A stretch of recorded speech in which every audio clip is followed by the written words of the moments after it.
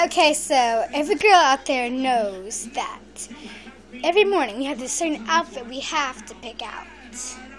And I'm just here to say that for pump rock, we should all do this. First, get this pink shirt with a cutout at the back. A cutout. Then, have a nice j- vest jacket to wear. Okay. If, get some black jeans. It'll go really well. And then you will fold. Uh, you see, fold it. If you and you get like some black tinnies or black sandals. And this outfit will be totally trendy. I hope you take advice on using this. And if you don't like this, look at Tiger B. Tiger B has all the latest issues. Thank.